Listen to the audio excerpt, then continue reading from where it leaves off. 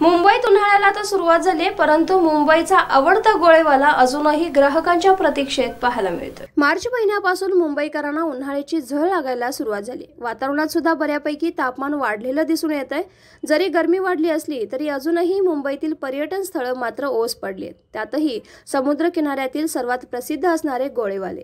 यांचा सुद्धा आता ग्राहकांच्या प्रतीक्षेत गोळेवाले उभे असलेल्याचं चित्र पाहायला मिळालं. गोळेवाल्यांच्या म्हणण्यानुसार मुंबईत लॉकडाऊन नंतर ग्राहकांचा प्रतिसाद फारच कमी झाला असून आता पूर्वीसारखा धंदा होत नसल्याचं त्यांनी म्हटलेलं आहे.